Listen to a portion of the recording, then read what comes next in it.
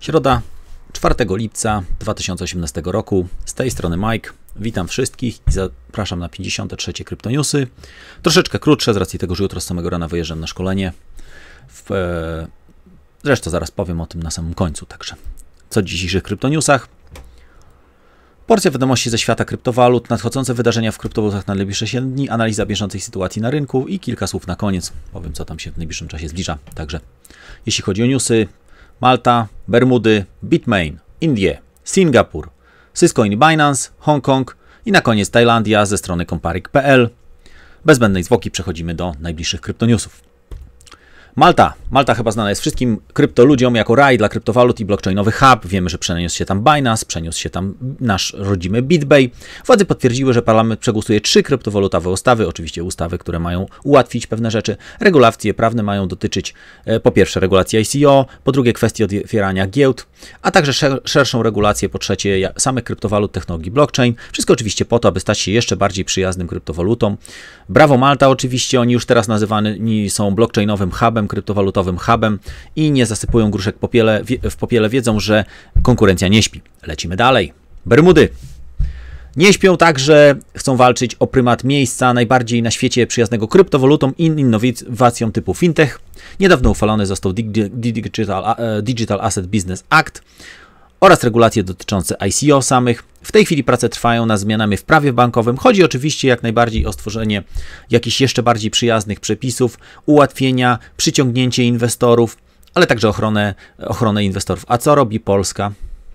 Zostawimy to w tym miejscu, lecimy dalej. Bitmain. Bitmain kolejny raz pokazuje, że jeżeli chodzi o kopanie, to nie ma sobie równych. Okazuje się, że Bitmain został jednym z 21 podmiotów produkującym bloki waluty EOS. Wszystko to za sprawą EOS Antpool, która jest prowadzona przez Antpoola, a Antpool to jest jedna ze spółek zależnych Bitmaina. Wzbudza to niepokoje w środowisku, nie tylko EOS, ale także samego Bitcoina, gdzie pule Bitmaina mają bardzo wielki udział, ja o tym mówiłem niedawno, 42%. E, tu oczywiście teoretycznie możliwość jest taka, że jeżeli przekroczyliby 51%, to mogliby przejąć kontrolę, całkowicie scentralizować tą samego Bitcoina. EOS Pool zajął 11 miejsce w głosowaniu, co przekłada się na 845 EOSów dziennie. To wychodzi około 2,7 miliona dolarów w skali roku. Lecimy dalej.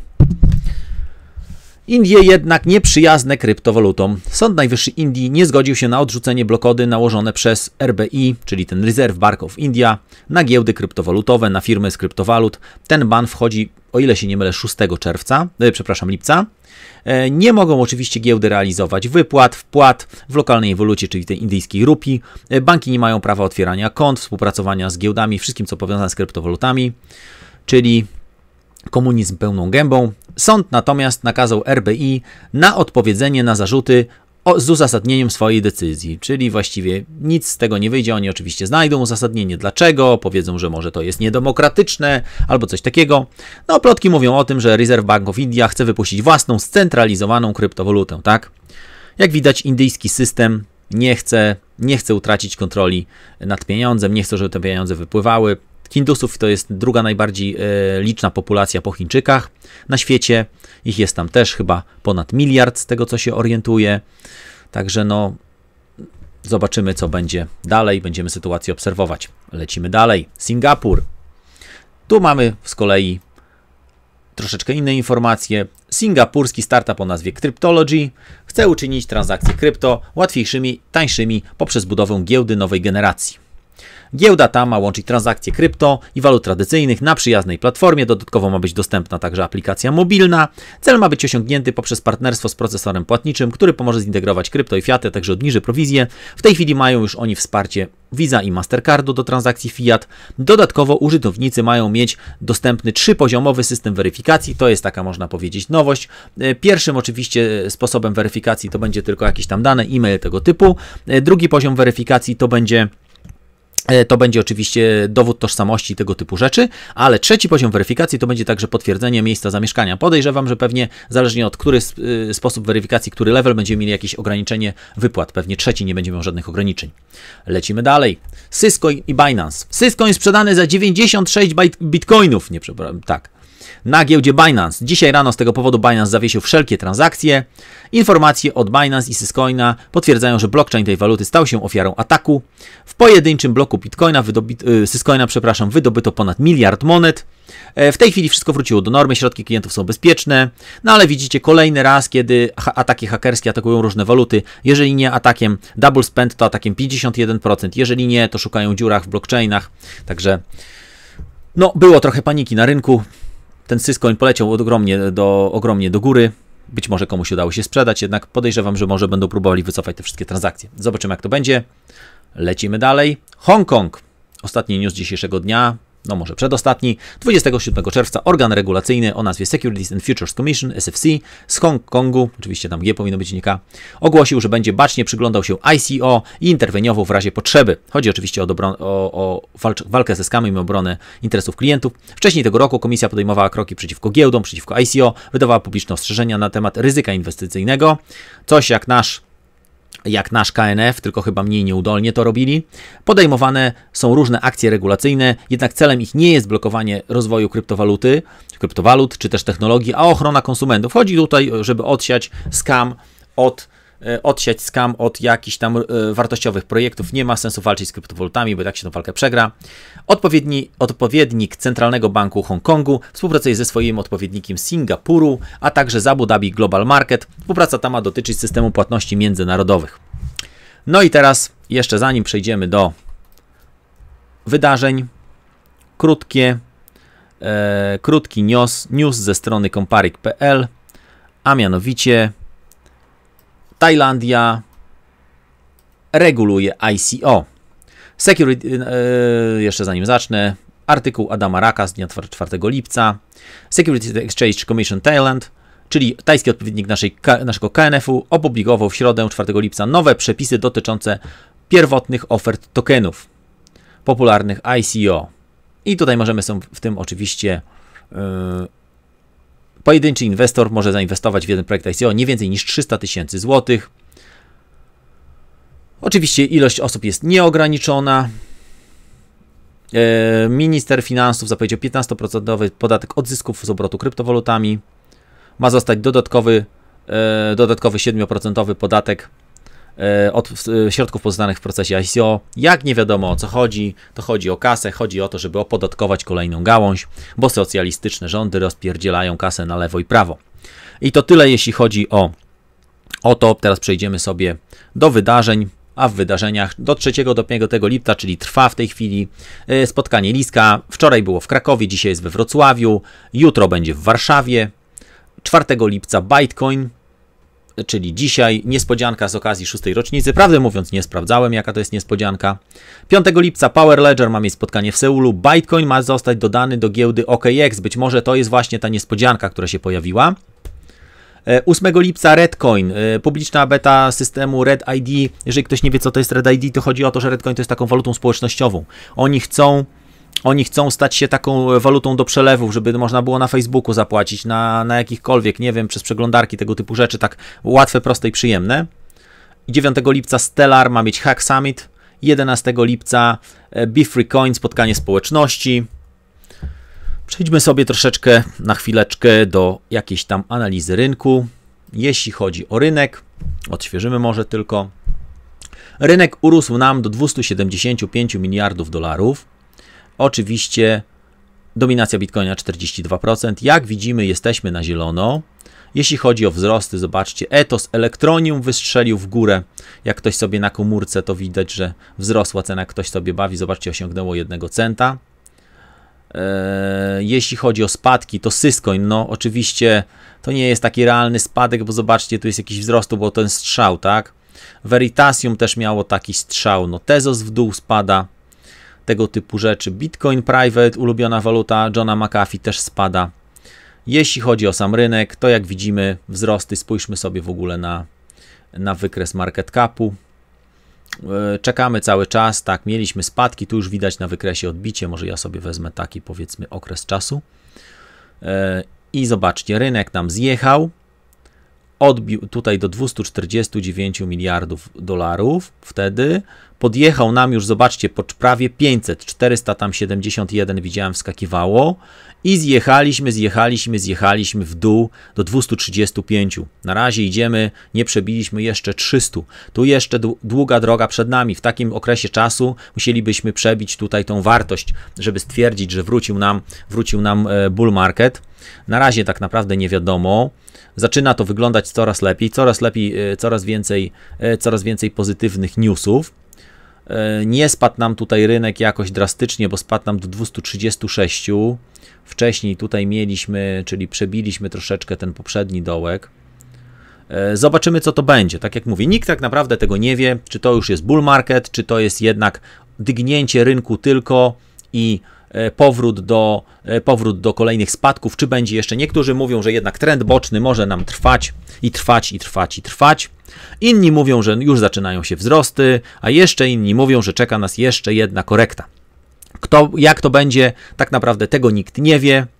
Ja, ja osobiście, to taka moja spekulacja, każdy może mieć własne zdanie. Ja nie wierzę w tego bitcoina po 2 czy 3 tysiące dolarów. Tutaj jednak Tutaj jednak, jeżeli nawet analitycy e, duzi mówią o tym, że 5000 dolarów to jest za bitcoina bardzo promocyjna cena i bardzo dobra, no to nie sądzę, żeby nie sądzę, żeby te ceny aż tak mocno korektne. Oczywiście jest to możliwe, ja nie mam szklanej kuli, aczkolwiek ja osobiście, tak jak mówię, ja osobiście w to nie wierzę. E, trzeba, trzeba mieć świadomość tego, że to nie jest tak, że wszystkie grubasy grają do jednej bramki. Jedni grają na wzrosty, drudzy, drudzy grają na spadki. Także my nie jesteśmy w stanie jako malutcy tego przewidzieć. Dobra. I to właściwie na tyle, jeśli chodzi o tą krótką analizę na rynku. Teraz tak, dzisiaj wystąpiłem w, pod, w podcaście. Zaraz Wam to pokażę. Niech ja tylko sobie to odpalę. Nie jestem co prawda przygotowany. Prawdę mówiąc, już jestem po dzisiejszym dniu ubity jeszcze poszedłem sobie pograć w piłkę nożną po 25 latach przerwy, bo ostatni raz w piłkę nożną to grałem chyba w podstawówce. Być może gdzieś tam się coś zdarzyło jeszcze później.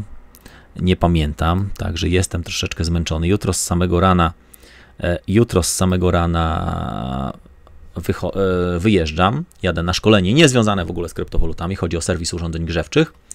Zobaczcie, e, na platformie Steemit Krypto Janusz rozmawia Mike Satoshi, tak? Marek Zubacz proponuje dodać sobie do obserwowanych. Tutaj link oczywiście Wam dam do tego filmu. Krótki wywiad ze mną. Yy, linki oczywiście do moich kanałów na Steamicie, na YouTubie. Ja oczywiście zapwołdowałem. Polecam wszystkim zapwołtować ten film. Ten film. Yy, pogadaliśmy sobie troszeczkę. On popytał mnie trochę o różne aspekty. Mam zamiar się zrewanżować i z kolei zaprosić w drugą stronę na rozmowę w niedługim czasie. Yy, I teraz tak, jeśli chodzi o pozostałe rzeczy, to tak. E, I pojutrze spotykam się z Hapro, czyli naszym Discordowym ekspertem od koparek. E, będziemy najprawdopodobniej nagrywać film, otworzyć taki tutorial, jak zrobić Linuxa na pendrive. Jak stworzyć taki system. Po co to jest potrzebne? Po to, żebyście nie musieli do koparki kupować dysku twardego. E, po co dysk twardy, jak możecie mieć pendrive? Tak, nie musi to być na Windowsie, na Linuxie jest to troszeczkę łatwiej. Później większe pole do manewru macie. No i oczywiście mniejsze wymagania. E, kolejne tutoriale będą. Niestety konferencja została przesunięta z 11 na e, z 11-12 na koniec miesiąca, ale CryptoGem organizuje konferencję, na której ja będę. Nazywa się to, żeby Was nie okłamać. Niech ja to sprawdzę tylko. Dajcie mi chwileczkę. Ja już sobie tutaj CryptoGem. Mm,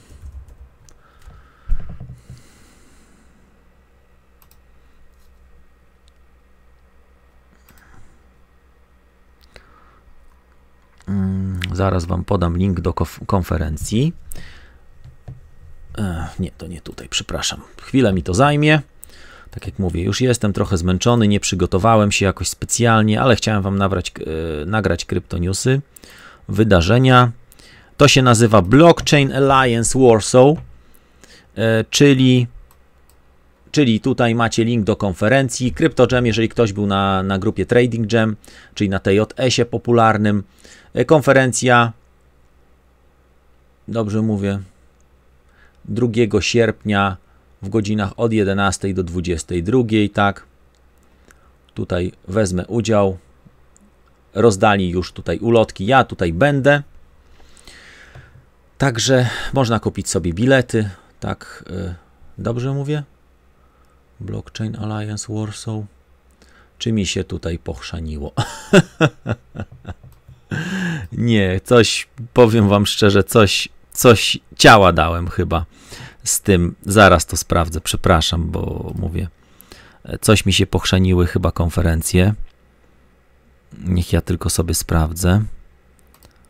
A, oczywiście, oczywiście nie ma, nie ma jak to się mówi, nie ma tutaj, jakby Mike Satoshi nie popełnił błędów w kryptoniusach, to by nie było radości. To się nazywa, przepraszam, Warsaw Summit 18-19 czerwca, Cryptocurrency World Expo, edycja 2018 za 14 dni, tak, Multikino 59 Złota Street Warszawa, E, kto będzie przemawiał? Z takich, y, oczywiście Rafał Zaorski, tak, Szczepan Bentyn, z takich osób, które ja osobiście znam, e, a także wielu, wielu innych. Jak widzicie, można sobie tutaj, będzie można mnie spotkać. Zapraszam serdecznie, jak najbardziej. Ten Blockchain Alliance Warsaw, to się pomyliłem. Muszę tu zmienić, że zainteresowany jestem także muszę się zastanowić, czy tam wezmę udział. Na pewno będzie jeszcze jedna konferencja, na której będę, na której będę prelegentem. E, także tak to wygląda. I to właściwie tyle. Jeszcze krótki tylko na temat koparek.